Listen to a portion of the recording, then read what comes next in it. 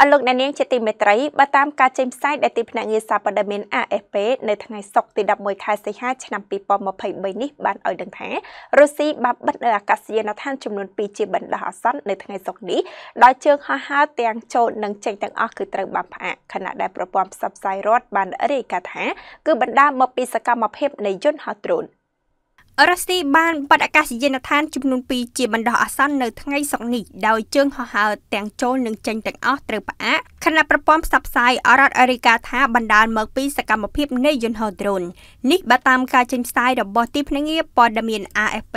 នៅថ្ងៃទី11ខែសីហាឆ្នាំ2023ដំបូងឡើយអាកាសយានដ្ឋាន Wuni Kuwu និងអាកាសយានដ្ឋាន Kaluga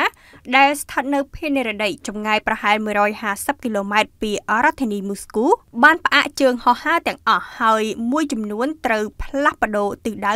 ទៅកាន់អាកាសយានដ្ឋានផ្សេងទៀតក្នុងទីក្រុងមូស្គូប៉ុន្តែក្រោយមកក៏បានបើកឡើងវិញ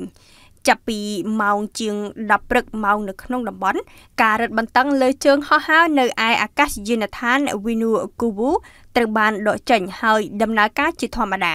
បើតាមអភិបាលក្រុងមូស្គូដ្រូនមួយគ្រឿងត្រូវបានបាញ់ទម្លាក់ពីលើអរដ្ឋធានីយ៉ាងនេះក្តីគេមិនទាន់ដឹងច្បាស់ថាតើវាមានជាប់ពាក់ព័ន្ធទៅនឹងការបិទអាកាសយានដ្ឋាននេះឬអត់គួរបញ្ជាក់ថាការវាយប្រហារតាមអាកាសដោយយន្តហោះដ្រូនចូលជ្រៅក្នុងទឹកដីរុស្ស៊ីកាន់តែកើនឡើង